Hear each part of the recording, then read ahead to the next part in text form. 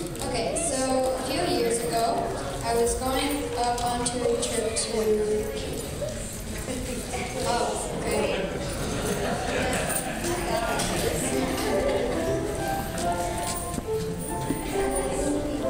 Can I have a seat?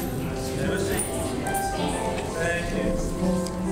All right, you got it. Can I start now? Okay, We're gonna start off with a few stories and then we're gonna ask you some questions.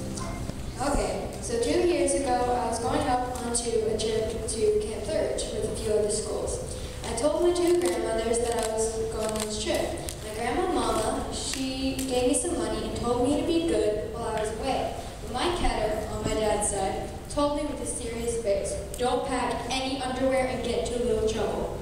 My grandmothers give me good advice and sometimes not so good advice. The afternoon before my grandma's passing, we were at their house doing some yard work. When I got inside from outside, I went and started playing on the exercise machine when I fell and hurt myself.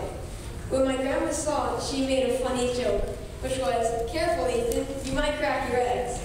Which, that made everybody in the room start laughing. My grandma loved to tell me the obvious, whether it was good or bad. Our grandma Mama loves us very much, and in third grade she decided to take us on an experience of a lifetime. She took us to Kenya all the way across the world. We did many activities while we were there. These include climbing huge trees. We drank avocado smoothies. We went to school there. We helped doing we helped do missions and helping the people there. We went shopping. And we went on a two-day safari. Okay, now let's start with a few questions. Does your grandma love you? Yes. Does your grandma always seem to be happy with you? Yes. Does she ask if you are hungry? Yes. Does she give you food even if you aren't hungry? Yes. When you get sick at her house, does she give you medicine? Yes. Does she hug you too tight whenever you see each other? Yes. Does, she say she loves you? Yes. Well, someone loves you even more than your grandma. And who is that?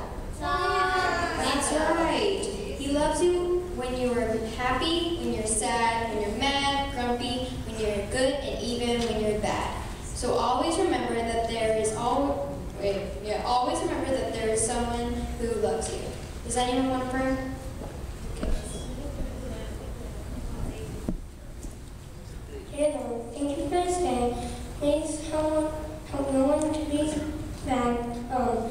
based on persecution and moral danger. Amen.